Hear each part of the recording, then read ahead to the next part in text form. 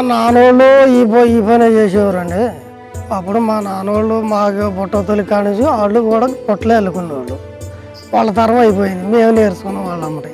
అప్పటి నుంచి మేము కూడా అల్లుకుంటూనే ఉన్నాం.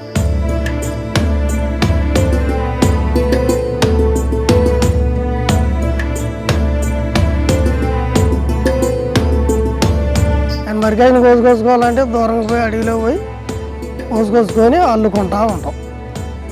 ఒక రోజు కోసుకొస్తాం ఆ తెల్లారి చీల్చుకుంటాం మళ్ళీ ఎండిన తర్వాత అల్లుకుంటాం. ఈ లోగట అందరికీ దొరకవండి ఏడన్న ఒకటి ఉంటాయి పలసగా ఏం మాకు చాలు. దూరంగా వెళ్ళిపోతాం.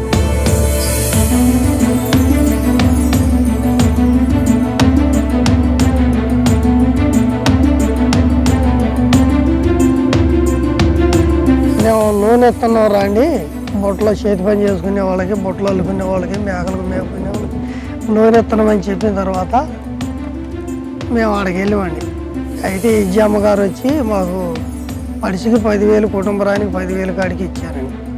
పదివేలు ఇచ్చారు రేగులు ఇచ్చారు తంబాలు ఇచ్చారు. అయ్యో ఇప్పుడు ఆ తంబాలు వేసుకొని మేము ఆ రేగులు వేసుకున్నాం. పని పడ్డాయి ఇప్పుడు బుట్టలు పెట్టుకోవడానికి. అక్కడ నుంచి మాకు కొంచెం డెవలప్గానే ఉందండి.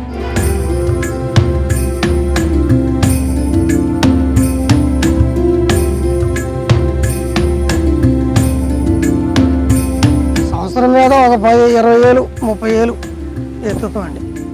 రేట్లు ఎక్కువ కదండి ముప్పై వేలు గంపలు ఎత్తి మూడు పదివేలు గంపలకి లక్ష రూపాయలు అవుతుంది కదండి. అట్లా డెవలప్ అయిపోతూ ఉంటాం వీళ్ళకి కొంచెం అల్లి వాళ్ళకి ధైర్యమే మేము కూడా చేతి శాఖ వాళ్ళకంటే చేసుకోవాలి